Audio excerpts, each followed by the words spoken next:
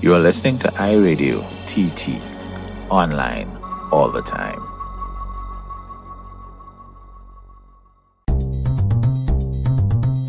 Welcome to Music Matters, the Caribbean edition. The podcast series featuring news, interviews, and analysis of all the music from the islands. Hi, everybody. I'm Nigel Campbell, And I'm Laura Dowridge Phillips, and you're listening to Music Matters. the Caribbean edition. Yeah! We're back once again talking about the business of music in the Caribbean. Yes, we are, Nigel, and today, Today. we have a very exciting follow up to Our previous conversation Yes, that we we, had. About, yes, we spoke about the live music industry in the Caribbean. Yes, And which which caused a bit of a stir. A minus still, we spoke. We had Mm. some comments about the live music district. Mm-hmm. Um, I was told personally off air that we were one sided, and I said, well, you know, we, we will get sooner or later the other side of the story. And I believe today we have the other side we of the story. We have the other side. So joining us today is Melissa Jimenez. I'm not, Jimenez. I'm not sure if I Jimenez. pronounced that Jimenez. correctly, eh, people. She will correct us. And she is the general manager of Music TT. And she'll be here to talk about the live music district, which has entered its second phase. out, out of the pilot phase and now into, I guess, a, kind of rollout according to the Minister of Trade. Yes. So Melissa, welcome to Music Matters. Thank you very much for having me, Laura and Nigel. You're welcome and thanks you for being here. So Melissa, the last time we spoke back in June, it was Nigel. I think so. June is when we spoke about our other thing about what made sense and what didn't make sense. Right. So we were reviewing the live music district based on feedback we got from artists, based on our own experience. I mean, Nigel more than me because he, you know, bachelor life now. He could go. Bachi, he boy, could yeah. go. He could go out late nights and things. Oh, last, Always last, somewhere jamming it. last time we edited that out, but I noticed it's back in. but what are you gonna do?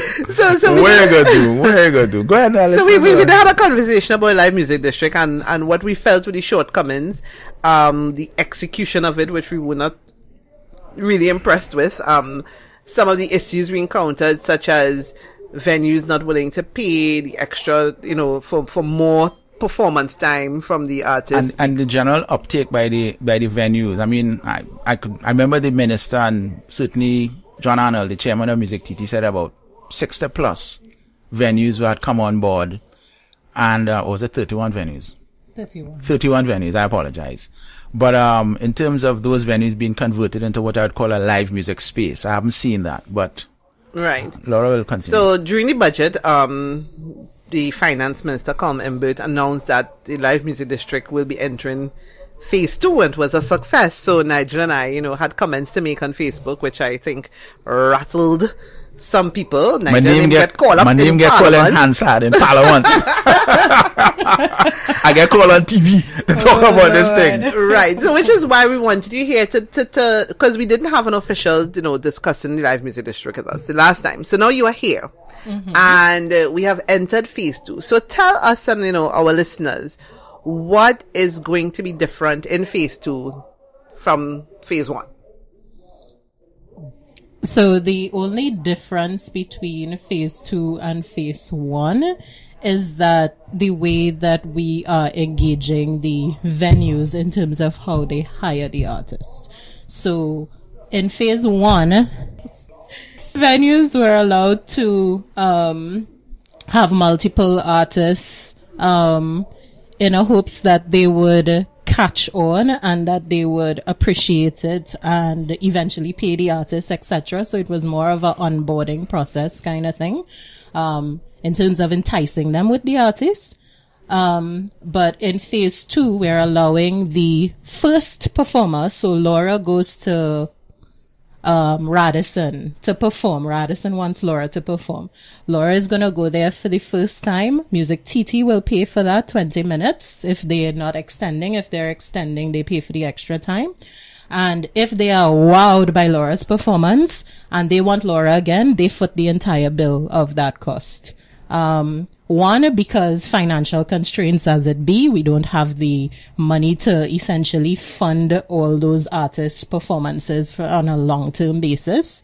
Um, which is why we're hoping that the venues are encouraged enough to take on this project. You know, the private sector needs to take it over and run with it. The government can't afford to sustain that long term. The money done. um the money done and um so yeah that that is the hope for this second phase that the venues will take it more seriously as a business in terms of you know hiring the artists and understand what we're really trying to build here So when you all assessed phase one, was that the major issue for you all coming out of that? That you all had to address? Because that was our, one of our peeves that, you know, how are we really encouraging building any kind of live music district if the venues weren't willing to invest in the artists? that was you are correct that was one of the um one of the major things that came out for us in phase one because um as nigel mentioned earlier we had about 31 venues and out of that we probably had about five to eight venues paying artists so for extra time um the flip side to that though is that a lot of the artists also called us up to follow up and say that because of their gigs at Hilton or because of their gigs at here, where wherever, other business persons contacted them and wanted them to perform um, at their venues. Um, or their functions or their business events and whatever, whatever. So LMD So- became LMD became a, a kind of booking agency, but I understand the live music district was about building an an area, certainly for the Spain that that initial caption area, as a space where potentially tourists will come to to recognize. Okay, this is a space where the music. So I, I'm thinking that venue uptake would have been a primary focus more so than artists. Yes, artists getting gigs. Let's not deny it. It's all about the artists. But in terms of convincing venues to come on board, how difficult was that? I'm guessing it was um, five out of 31 doesn't seem like a great percentage. Initially, it was not difficult. We also had some clubs and stuff that came on, but for whatever reason, they didn't activate. Mm-hmm. So we had to find replacements for them mm-hmm. um, with other tea houses and um, restaurants, etc., other other spaces within Port of Spain to make up for for their I don't know, backing out. I'm not sure why. Um, we're still yet to talk to the venues and the clubs and find out why exactly Mm-hmm. they they, yeah, they weren't activating as they should. So, um, backtracking to the first part of your statement with the booking agency. So a lot of people have the misconception that Music TT is booking for these artists and venues. We're not I, I hope not. we we uh essentially we have provided a platform called Music, which pairs the venues and the artists. So the venue signs on to this music platform as a venue owner, and the artist uploads their electronic press kit mm-hmm. and as an artist. So what happens is the venue is gonna now scan through this roster of artists, Yes. EPKs, mm-hmm. and they're gonna say, "Oh, let me listen to Nigel's um, links," and they mm-hmm. say, "Okay, yeah, I really like this vibe. I'm feeling him. Let me hire him." They click on Nigel and they request a booking, mm. and the artist now is supposed to respond and you know have a conversation with the venue, which most of them don't. Um, they just leave it up to the venue to do whatever. So I guess that part is definitely teaching the artist and both the venue, um, how to interact in that space. In that you would find some venues, well, we found that some venues like two days before the performance mm-hmm. would send a request to music for an artist. Mm-hmm. And we're like, no, it can't work that way. You know, you mm-hmm. need to give them time. They have to prepare their sets. Yeah, they yeah. have to, you know, prepare themselves for your performance. There's not a today for tomorrow kind of thing. One of the things that we said back in our June podcast was the idea that that is a deficiency among the artists, the actual business of, Right. in terms of how to engage and how to interact. Yes, before there was a live music district, artists were still getting jobs, but certainly, um, it didn't seem as though a number of these, especially these younger artists who seem to be on board with the LMD in terms of those who registered and those who seemingly were talking about being a part of it, they didn't seem to have, well, uh, the, the tools, the professional tools Right. that would move them forward in the music industry. They can all sing, they're all talented, they, they look good, that kind of stuff.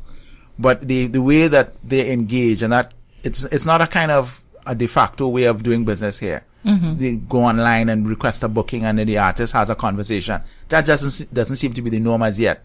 So I, mm-hmm. I understand it's a learning curve, and I'm assuming by this second phase, they've already understood how to do that. Is are you constantly training them in terms of the business of bookings and the business of performance? Not so much the business of performance, sorry, but the business of engaging for a performance. And negotiating. Understand, And yeah, negotiating. Yeah. So we did notice that for phase one. Mm-hmm. Um, more so me because I was heavily involved in administering that project myself. So what I tried to do in phase one was um, send out like uh, email to the database of artists, you know, ever so often, giving them tips on how to engage with these venues. Um, for phase two, this may not happen depending on time. Um, but we actually wanted to have a session with the registered artists before. Granted, I know all 200 and something of them are not going to attend, but ideally we would like those registered artists to attend and we have a session with them and some of the venues also volunteered to be like panelists for that discussion. So they understand what the venues want and they understand that the artists what their responsibility is. So for example, one thing that came up was um, we had a fine dining restaurant um, in phase one.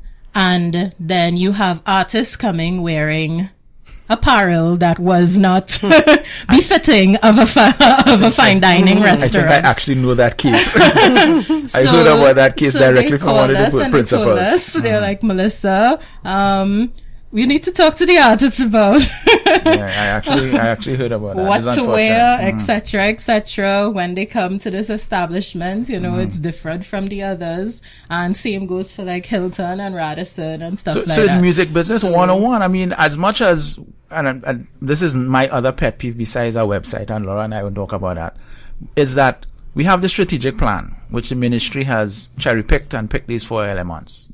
Artist development, online platform, showcase, and LMD.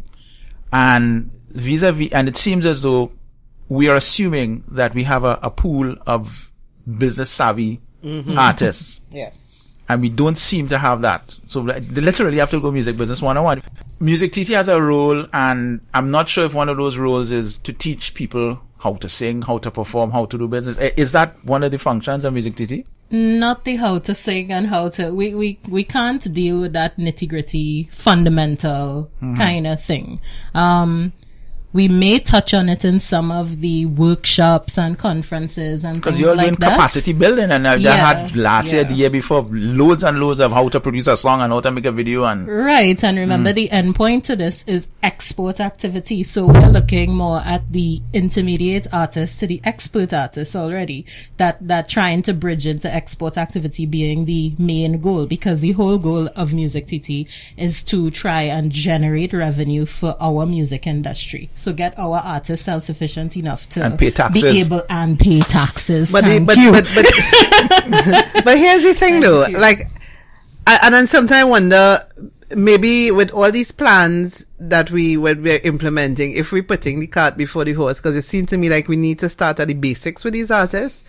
And before we start doing live music district and start trying to, to groom them for export, it seems like we need to just recognize that we don't really, we have, what we have is a bunch of really talented people, but that's it. you know, we don't have, they have no business savvy. They don't understand how to market themselves. They don't know how to negotiate. They don't understand the importance of proper headshots or proper Right. marketing tools.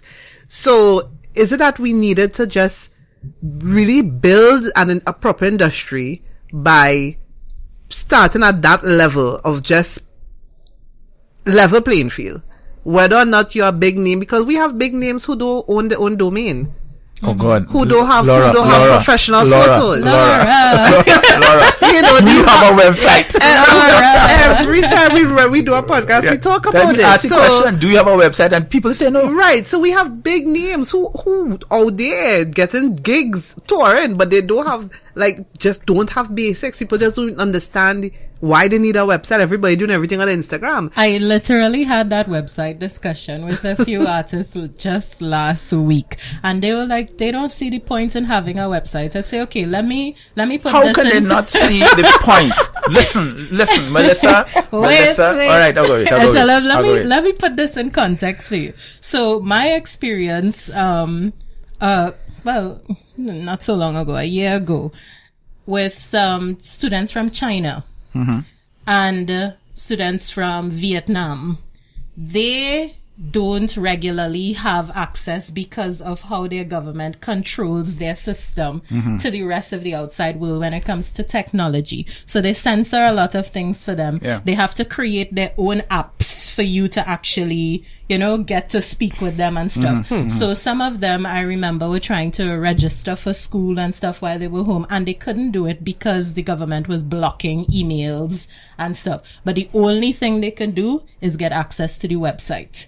Mm-hmm. That's the only thing they could do and try and get whoever on this website to contact them because they weren't able to contact the offices. Wow. So Alright, there I you put that forward to them and I was like, if you're trying to hit China, which is one of the biggest markets uh, ever. One of it is the biggest market. Well, the biggest, and then India is the second. Yeah. India, Yeah, they right. have no access to And- social media, no None. Facebook, No no, nothing. Exactly. And things are being, you know, so, so how do you expect to hit that market without a website? Why, it's like, why, why would you not have a website? And then the other part of that, the flip side to that is trying to get them to understand that they are a company.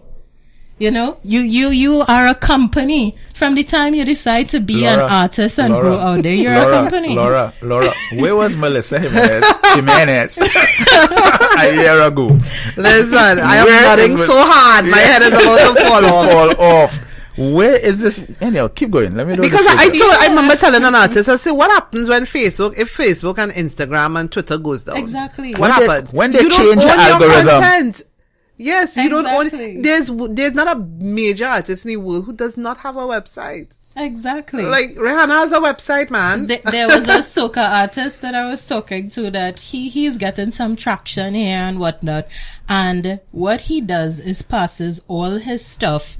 When I say stuff, his music through his Julianos promotions, Julian- Julian Julian's Promotions, yes. So if you if you are familiar with how those algorithms and stuff work um, Mm-hmm. with social media, Julian's has created this vacuum where he is the go-to Mm-hmm. He is it. for everything mus- um, Yeah. Mm-hmm. soca music on YouTube. Yeah. And all these artists are pushing these things to him. And they are not getting any traction Not- on their again- websites or even their own YouTube channels because they're not posting anything there. They're sending everything to him. Now, granted, that is his business. That is what Mm-hmm. he does. That's fine. But at the same time, while you're posting there, you need to post on yours too and share. Yes. You know, They share don't do from yours. Don't share from Julian's because you're just sending all the traffic to him and you're not able to build. So when they think about, oh, I can't monetize my YouTube, how come I not getting the millions of hits? Is because you're not sending any traffic your way. Exactly. So how do you expect to be able and to that comes do down to comes down to content creation. A lot of artists don't understand. It's not just you are the star. You have fans. So why wouldn't you create content? And it doesn't necessarily have to be a song that you've produced. You know, it could be a session in the studio that you just put up on on on on, on YouTube. Right. It, could- it could be anything. Just engaging with your fans. You create content, and that builds up your subscriber base. Exactly. Yeah, so it, it brings me back to my, my, my original point. Are we putting the cart before the horse? Did do we need to really just dial it back and really educate artists about the business of music before we start trying to attract tourists and develop, you know, develop a live music district? Or is it that through these things we are discovering what needs to be done and trying to do that simultaneously? I I think the latter. I think the latter because the live music district definitely has brought to light some of the the challenges that need to be addressed um, and where the gaps are within the music industry itself. Um, and to be fair, most of the artists in the live music district that's performing um, are either very green or somewhat seasoned. So they aren't, uh, the live music district does not cater for, in, in this instance right now, the best of the best because the one, the venues. it comes back to payment and payment structures. Probably when the live music district takes off completely, you know, in how much ever years to come where the where the um, private sector decides, okay, well, yes, you know, we, we see um, opportunity in this, then yes, the other's gonna come. Or I hear that what is the name of this hotel? Is it Hard Rock? Right. So Hard Rock's entire basis and premise is on music. So we know they're definitely going to be a hopping live music spot. Mm-hmm. So hopefully that sort of triggers some sort of trend or the others realize, oh, okay, there is a business model that, that, that, that's happening all over the world here that we can follow as a venue in order to generate income where live music is concerned. So hopefully, you know, something sparks somewhere. I have been, as I said, um, this strategic plan that the ministry has, which I've seen, there is the the company that set it up has this thing about creating music cities, and I guess the live music district is a kind of a subset of a music city as it was. But um, I know two live music districts that have been well, music cities, famously New Orleans, where I've been, and parts of Washington D.C. where I lived actually, and there's a, a strip there. They have every club has a, a live music and thing. And admittedly, you don't necessarily have the best, you don't have big name performers there. They all, Right. you know, low level Most of performers, them are green independent performers artists and that kind yep. of stuff. But they're performers who seem to understand the business of music, right? And I keep returning to this point about the business of music. This is what this podcast is about, right? Mm-hmm. And I guess this is the raison d'etre for Music TT. And just remember, before it was Music TT, it was TTN, and then before that was IDECO, and before that was TIDCO. The state has always wanted the music industry to be one of those diversified, those economy, those economic Pillars of activities. diversification. There Right. you go. That's that's the fancy that's the fancy terminology. So that somewhere along the line, they always believed that this thing was able to generate revenue, which Right. is part of their mandate, right? We've already kind of hinted that artists have to become companies. These companies have to pay taxes because we also know that revenue collection by the state is not by ticket sales; it's mm-hmm. by taxes. Of, by Right. payroll taxes oh, or, or artist Nigel, say that taxes again. right? Is so so that the, the state's revenue is not from, as I said, it's not from ticket sales, right? So that at the end of the day, if the artists are not part of the whole system of business of music, did the state over many iterations of and many different parties get it wrong, or are they looking at something else? Because what is the business model they're using to say that okay, this is going to be a new diversified economy. And the minister goes and says it's a tremendous success and the, both ministers, finance and trade in the parliament said it's a tremendous success. When let's deal with the real statistics and let's deal with what we have seen up through the pilot phase that we haven't got uptake by venues. We haven't got an, uh, an evolution or, uh, uh, we're not ahead of the learning curve of terms of the business of engaging live music and, and bookings and that kind of stuff. How, what is the business model going forward? So let let let's be fair with the the venues and the uptake. In that three months of a pilot is not enough time to to assimilate and have a whole culture change towards something like this. Fair enough. It ne- it needs a lot of time. Fair so while we're saying yes, that was pilot phase one, whatever. Let me say that. Essentially, this entire year is going to be a pilot in it in its own right because Mm-hmm. we need at least a year or two to try and you know really sift through Mm-hmm. everything that's going on and make sense of it and get better at it along the way. So I I think we're we're going to try to do that. I mean, we've already seen what the challenges were for phase one. We try to address them as much as possible. Um, phase two, I'm sure is going to have its own challenges. We will try to address that and just try to get better with it. Um, at each round. Are you all doing data collection? Because that is something that I've also wondered about. In terms of the modern music industry, is a lot about data and metadata. What is Music TT's role in terms of collecting data to make business decisions that are actually data driven as opposed to, well, it sounds like a good idea. Well, we do collect data from both for the live music district itself, for from both venues and the artists. Um, we've had um, sit down talk sessions with the venues itself and get live that live feedback from them. We've Yeah. had the questionnaire forms um, for both artists and for venues as well. So we're constantly trying to monitor every time the artist performs at a venue. Venues give us feedback on those artists. um, what worked, what didn't work, etc., etc. So we're constantly looking at that information to see, you know, what what road we should take next in terms of trying to better it. That's good. Um, y'all happy with the budget y'all got? Asking controversial questions, I don't care. I have to ask you questions. The budget we got is the budget we got. what does it mean? Nigel, you're not going to get me in trouble.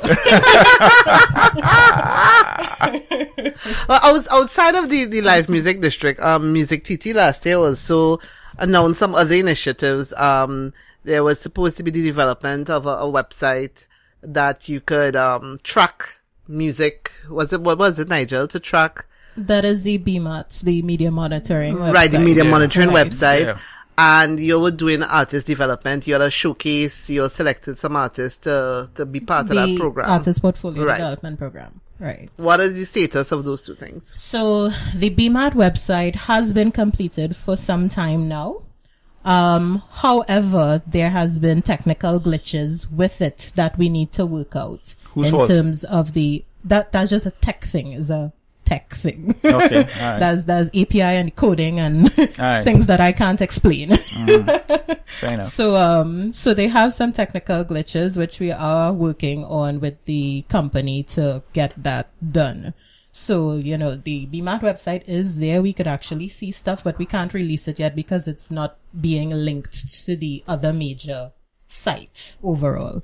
So um so when we sort that out, public will have that information. so the media monitoring that that is supposed to be done, that is what um tracking which So- songs are played on radio. So yes, it's tracking the radio plays. COT actually uses um, media monitoring. Yeah. Um, in order to understand their payments and stuff structures There's for also a private sector their company that does it too. For the purposes of advertisers though, what is like, what's, what songs are played and who plays one and that kind of stuff. But as you rightly said, COT does it. And I know B- BMAT was, I think it's a Barcelona technical institute kind of thing. Yeah. They had developed the software that does this tracking, which is utilized by a number of CMOs globally and thing. So you said how Music TT was developing that website to do what? To check to see that COT and TTCO and awesome were No, we, we, we, we were not doing that. We were just making it readily available to the artists so that they can log on at any point in time and see where they fall within the charts. Because the way that system is set up, you can change it to different views. So mm-hmm. you can see what the monthly plays will like, this, that, the other. Because some artists have the impression that their songs are playing hundreds and hundreds of times all over and they're not getting any money for it and yada ah. yada not understanding how the sampling for CMOs work in terms of payment structures. Mm-hmm. So they are able to go on the site and see what is what, where do they fall within that ranking and how many times songs were played. Hmm. Interesting. And the, the the the artist portfolio development, where is that? So the APDP is at a stage where these 10 artists have completed voice training with Vanessa Briggs. So you're really teaching voice Um, training then? We're not teaching. They need some areas to, they had some Fine-tuning. refining, yes. so we put them through, you know, some rigorous voice training and Vanessa Briggs was absolutely amazing. They completed performance training with Glenda Collins. Um, why performance? Because some of them realize just don't know how to use the stage and they don't know what to do with their bodies. They don't know what to do with their face. They're just blank. so, you know, and Glenda is amazing.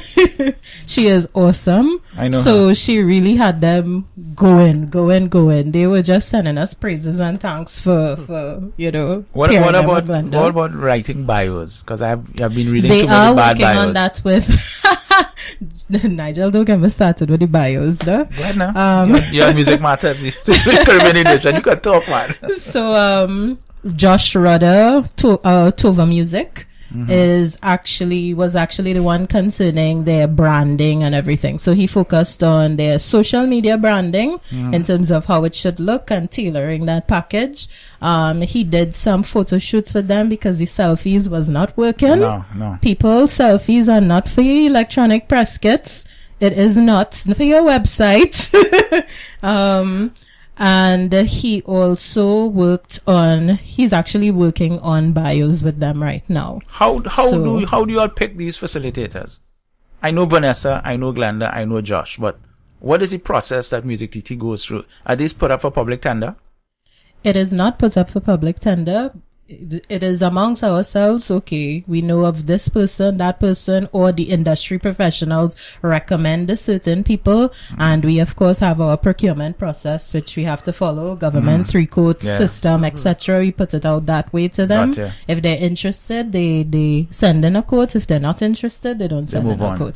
Um, tendering process takes really really long. That's well, yeah. like I know they have sole tendering. I know really, that's a long. process that exists. You could have literally only pick one person because Oh no, we, we haven't done that. We haven't done that with any of these um facilitators. I guess if you're paving a highway or something. So, so And any any of the artists in this program have they been on the live music district circuit as well? they are all required to be on the live music district circuit as part of their personal training in terms of interacting with audience and understanding.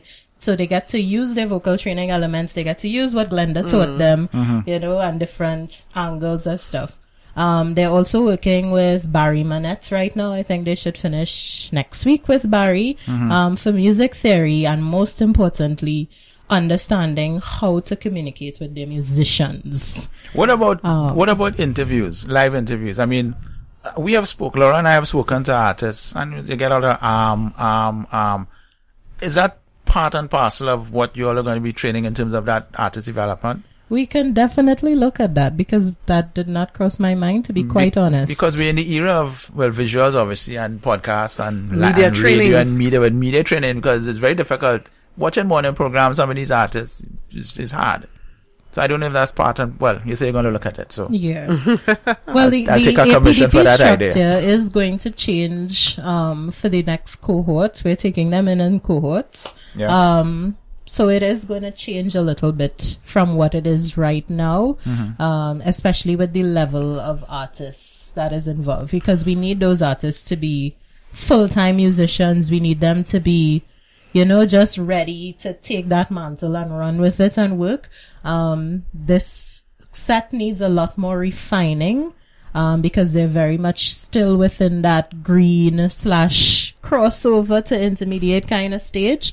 Um, so it's a lot more work. And then with resources being limited, we can't afford to expend that much, um, money into that program. So we need to find another way to fine tune it. So we're going to work on that for the next cohort. And once the program is finished, what happens? Are they going to be sent out into the big world? So not all of them are Will they be going to exported? not all of them are going to be shopped.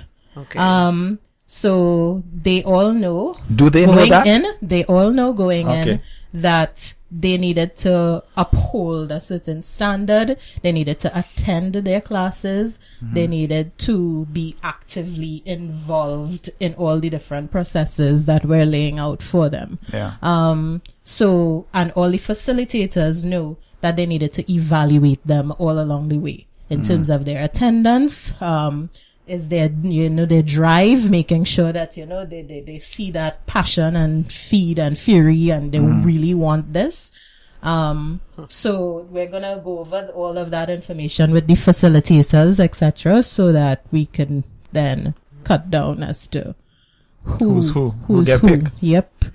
and and they're going and they're going to be shopped to where? Um, labels or just festivals, events? So it will be through a contacts basis. So people that we have met along the way from labels and different stuff, they have all expressed interest in the Caribbean market. So essentially we're going to be sending out things to these different people, um, trying to get them on different stages and whatnot. Would you be going to South by Southwest, with um, Womex, Midem? Are those part part of the um We- plan going forward? We don't have that in plans right now. No. Okay. Money, Nigel, money. money, money, They don't money, got the money. It's all about the money. Yes. Money. So money. when does this um current phase of the live music district come to an end? The 16th of December. Okay, and and It reopens after Carnival. And is it going to be in Port of Spain still? Because, you know, in the budget, the minister said it's going to go national. National. You- you Turned ruling out it that, out- that was out? not the case. It's still in Port of Spain. So is it going to be, you know, spread out to the rest of the nation? Chaguanas, San Fernando, Tobago, what's happening? Tell us. So it, it, it will. We need to have a conversation with some of the south venues and east venues. So right now it's actually Port of Spain and environ. So we've extended to San Juan, we've extended to Chaguaramas. So, um, That's that's new. Did not know that. Good. yeah, we've extended it outwards a little bit to involve some of the newer restaurants, especially Chaguaramas. They were like so eager for entertainment. Um, between sales, um, Bukaran, which is the new The new place, yeah, by the boardwalk, yeah. Uh, Zanzibar, Chaguaramas as well. Um, so, uh, But it it has expanded beyond the Port of Spain it has expanded district. a little bit beyond the Port of Spain district, so we're, we're, we're terming it as Port of Spain and environs. Um, we're hoping to, with, for the next, for the rest of the year, for 2019 fiscal, that we're able to visit East and Central and South, etc. So, um, So you want a we'll bigger see. budget so you could do more things then? I just threw that in just off, off, off left hook because what I'm getting, what I'm getting from what you're saying is that you have limited budget and as a consequence, you're going to do so many things, right, with that budget. But, um, the idea is a good idea, but for these ideas to make sense, you have to spend a little more money, which we don't have. But, um, one, one step at a time. This is a shout out to the Minister of Finance. We need more money. More money. But what, More what, money. I'm, but what I'm also getting is that eventually Music TT will not be the facilitator for this. Like eventually it will be the artist and the, and the venue. And we Right. could take this So and run with it. So what we tell the venues, even from now and the artists as well, is that we have funding periods. So these phases are essentially funding periods hmm. for Music TT. Mm. They can still use the platform that we've provided for them outside of that. They just won't be paid by mm. Music TT. They and the venue need to mm. negotiate, negotiate, that. yes. So they can still use it. We can still facilitate that process later on, even if the private sector says, "Oh yeah, we're taking it on." That could be our contribution because essentially we we can't we can't set up ourselves to be an agent. We can't, you know, do that. That mm-hmm. that is too much on us to do that. Um, but we could facilitate that process by providing the infrastructure and the technology for it. So they're free to use it after and outside of the phases. Nice. So, Melissa, this has been an eye, eye opener and ear, ear opening because you've been very honest, and I thank you for your honesty in terms of giving us the information about what is happening and what is not happening at Music TT, and more importantly, what is happening or not happening in the state's intervention in the music industry vis-a-vis LMD, music, artist development, and all that kind of stuff. Um, thank you for being here. I don't know if Laura has anything Thank to say. Thank you for having me. Well, no, thank you for coming. Uh, We, it's, it's good for us to have, the, to have had this follow up. Mhm, it was You know, so necessary. just people wouldn't just think we are haters out here. Yes. but we are so Yeah. passionate Yeah, about the development of music in the Caribbean that we want to see, we want this thing to work. Yeah. And it's good to know what is, what is, you know, the state we are in, what we, where, where needs work, where, you know, Hmm. and the gaps that need to be filled. And hopefully the powers that be are listening. They So that they pump one, some more money into music TT. Yes. Hopefully they're they're listening. Yeah. So they know how to take this thing forward. Melissa, thank you so much Thank for you. agreeing to come on Music Matters, the Caribbean edition. No problem. Thank you very much. And hopefully we'll have you here again, maybe when we talk about Parang. That is that is an inside, Inside joke. That is an Inside inside joke. So we won't we won't worry about that. Nigel, this was truly a very enlightening conversation, and I'm think so. glad we, we did it. And I'm, I'm appreciative of the honesty, and I'm appreciative of the fact that somebody from a state-owned enterprise was able to come and have a frank and open conversation without being hindered or cut in style. So I, I really happy. I'm very happy about that. That's just me based on what I've heard from other state-owned enterprise heads. This has been an enlightening conversation, and I'm very happy that we had Melissa here. And all I can say is we look forward to see what happens in live music district and all the activities that Music TT has to go going forward. Yes. So once again, thank you everybody for listening to us. I am Nigel Campbell, I'm Laura Dowridge Phillips, and you've been listening to Music Matters. The Caribbean edition. Bye. Bye.